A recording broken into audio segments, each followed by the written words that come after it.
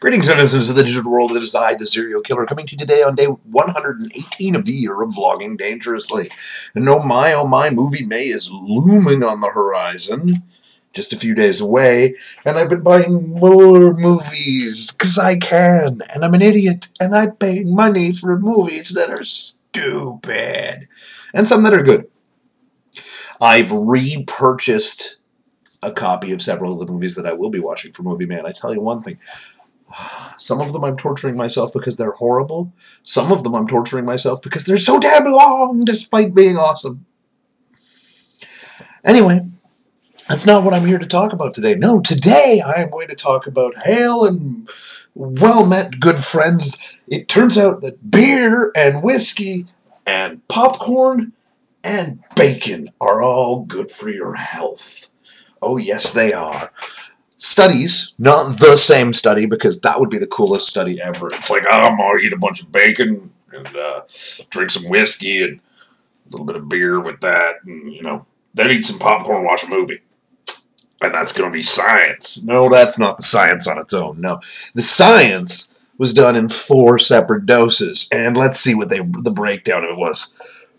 Beer helps your brain. See, people doing trivia and yeah, not trivia necessarily because everybody knows pub trivia, right? It turns out pub trivia there's a reason why people can be incredibly good at it though, because it, it turns out one or two pints of beer sharpen the brain. So a person who's had one or two pints of beer is actually going to respond better than someone with no beer in their system. Now I can see this as being this study as being a, a very bad thing. Because yes, it's good for problem solving, but don't ever rationalize that as being good for driving. Or, god damn, it's not. But if you have to do a test, a couple beers in you is good. So all you university students who like your breakfast beers, you're doing it right. Bacon and pork fat in general, as well as whiskey, are both supposed to be good for promoting good cholesterol. Now, there is such a thing as good fats and cholesterols. Of course, people in the savvy know know it.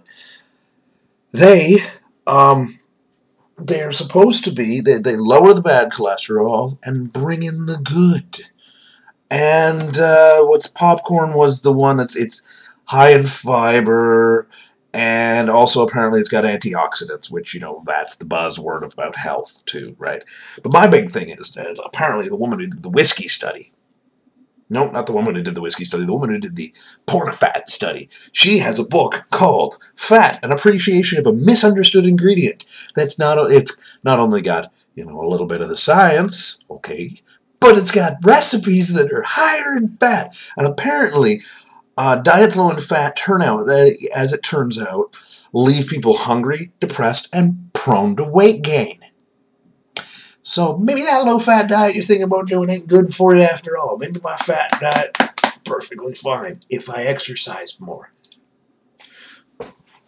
This is glorious. But at the same time, there is another thing that was linked from that same one, and it's it's basically a news report lamenting the fact that Americans are being denied their access to Pizza Hut's monstrosity pizzas that come with cheeseburgers, hot dogs, and fried chicken in the crust. Apparently, the hot dog one is pretty universal to everywhere else in the world but Canada and America. Who knew? And the fried chicken and the cheeseburgers, you can only get them in the Middle East.